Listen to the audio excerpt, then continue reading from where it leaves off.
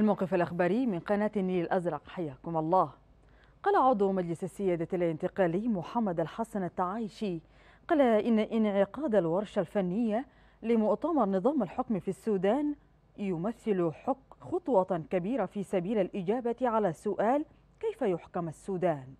وأوضح لدى مخاطبته الجلسة الافتتاحية للورشة الفنية لمؤتمر نظام الحكم في السودان. أوضح أن انعقاد هذه الورشة يأتي في إطار تنفيذ اتفاق جوبا لسلام السودان. وقال تعايشي إن إصلاح البلاد بالاستفادة من مواردها وسلامة توظيفها عبر مدارسات العلماء ومناقشات الأساتذة مقدمي الأوراق والمشاركين في هذه الورشة.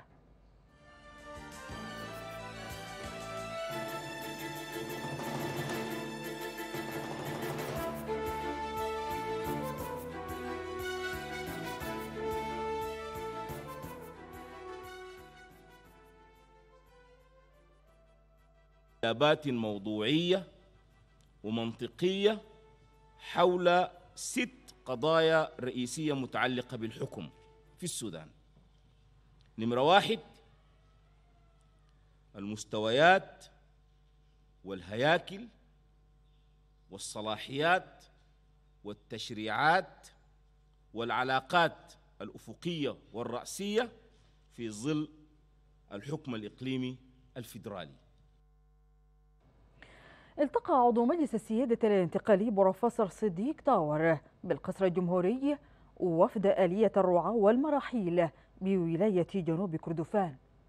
وقال العمدة صديق حامد إدريس عمدة الحوازمة أنه قدم تنويرا لعضو مجلس حول المشاكل والعقبات التي تواجه قطاع الرعاة في ولاية جنوب كردفان المتمثلة في نقص المراعي والأمصال واللقاحات والرعاية البيطرية. وأوضح العمدة أن البروفات تاور تعهد بحل المشكلات التي تواجه الرعاة وتذليل كافة الصعاب وذلك لتطوير قطاعي الرعي والرحل.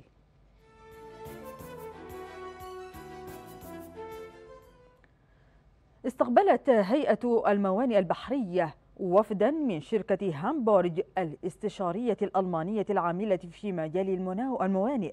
وألتقى الوفد المدير العام للهيئة الكابتن أونور محمد آدم سلطان بحضور عدد من المسؤولين بالميناء ووزارة النقل حيث بحث اللقاء سبل تطوير وتحديث عمليات المناولة بالميناء الجنوبي وما يقتضيه تحديث من تجهيزات إضافية كما استمع الوفد إلى تنوير من المدير العام حول الجهود التي بذلتها الموانئ مؤخرا لتطوير عمليات المناولة. والعروض المقدمة لهيئة الموانئ البحرية بغرض بناء شراكات مع الموانئ وخصوصا في ميناء دجنة بسواكن استقبلت هيئة الموانئ البحرية وفدا من شركة هامبورج الاستشارية الألمانية العاملة في مجال الموانئ. والتقى الوفد المدير العام للهيئة الكابتن أونور محمد آدم سلطان بحضور عدد من المسؤولين بالميناء ووزارة النقل.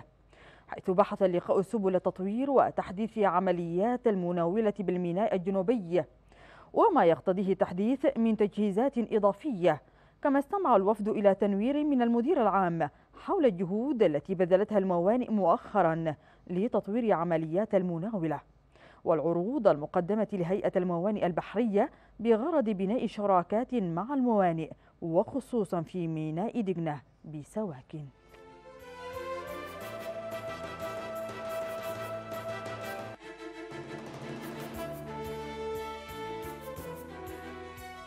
وقع البنك الزراعي السوداني مع المنظمة العربية للتنمية الزراعية مذكرة تفاهم تهدف لتحسين سبل كسب العيش بولايات دارفور من أجل بناء قدرات النازحين والمرأة الريفية خاصة المناطق التي تأثرت بالحرب. وقال مساعد المدير العام للتمويل بدر الدين عبد الله قال إن البنك الزراعي يحتاج لهذا النوع من الشركات التي تعينه في الوصول إلى أكبر عدد من المستهدفين ويركز البرنامج على تطوير البرامج التقنية وحصاد المياه لتحقيق زيادة الإنتاج ونشر التوعية وسط المزارعين لاستخدام التقنات الزراعية الحديثة.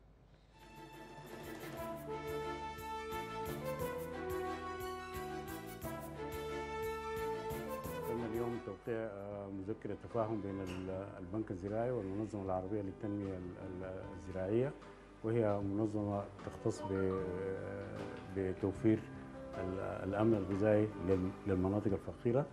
والبنك الزراعي عموما اهتمامه بالقطاع التقليدي والتمويل الأصغر بيتطلب شراكات زي دي عشان توفر المعينات الأخرى عشان تساعده في الوصول لأكبر عدد من المستهدفين من صغار المزارعين والأسر الفقيرة وبالذات في المناطق التي تأثرت بالحرب والنزوح.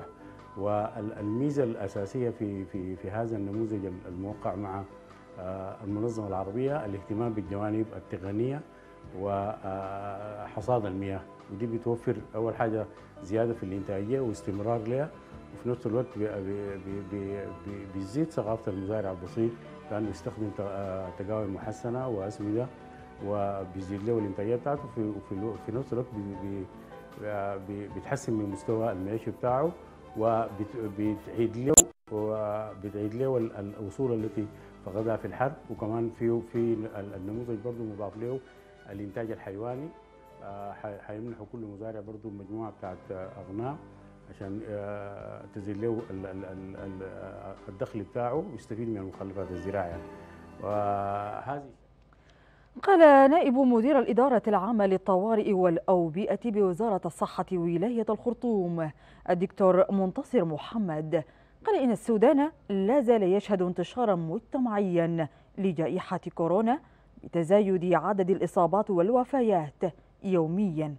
وأشار في حديثه بمنصة مكافحة كورونا إلى أن الهند فقدت السيطرة على المرض بسبب عدم الالتزام بالاشتراطات والإجراءات الصحية نحن ما زلنا في السودان بنشهد انتشار مجتمعي حالات تسجل يوميا كل 24 ساعة عندنا حالات وللأسف عندنا وفيات عالميا الوضع مقلق الوضع صراحة وصل.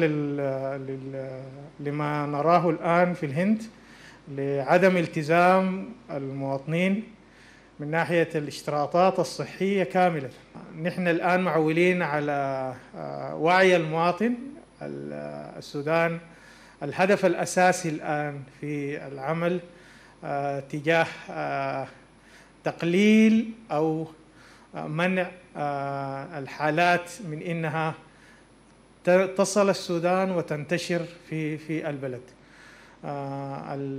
النوع الجديد نحن شايفين في الهند الآن سرعة انتشاره الكبيرة وتأثيره الكامل على الحياة إذا كان اقتصاديا أو اجتماعيا أو صحيا.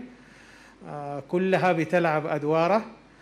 آه نحن الآن في رمضان وحنجي على أواخر رمضان والناس حتفكر في في العيد. فأرجو آه إنه المواطن السوداني يلتزم.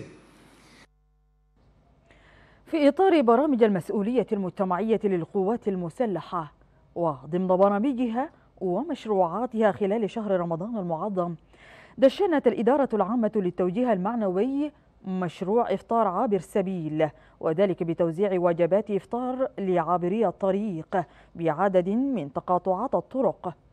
وقال ممثل الإعلام العسكري مقدم حسن إبراهيم محمد قال إن المشروع يأتي ضمن برامج القوات المسلحة وتفاعلها مع قضايا وهموم المجتمع.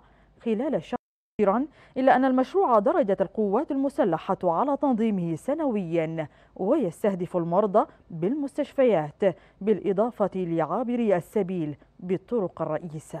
مبادرة إفطار صائم لعابري السبيل من القوات المسلحة هي مبادرة تتخذ طابع الرمز. باعتبار أن القوات المسلحة هي شريك المجتمع السوداني في كل المناحي ونحن معلوم كمجتمع سوداني عندنا مشاركات واسعة جدا. في رمضان بتتضاعف وبتظهر وكلنا جينا من بيوتات قاعدين نفطر في الشارع وبنقطع الطريق وكده.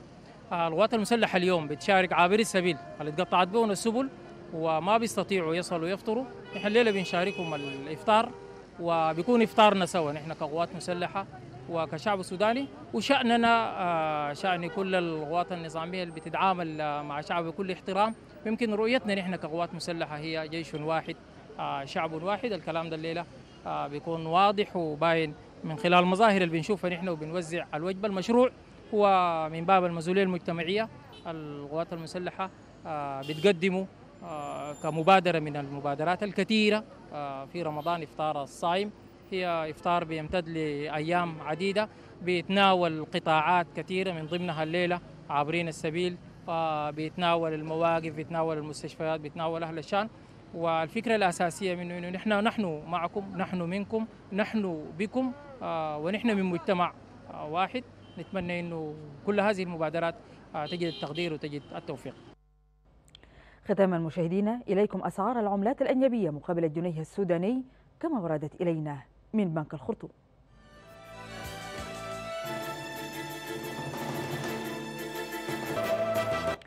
بهذا الخبر ينتهي الموقف الإخباري. أينما كنتم تمنياتنا لكم بدوام الصحة والعافية. في أمان الله.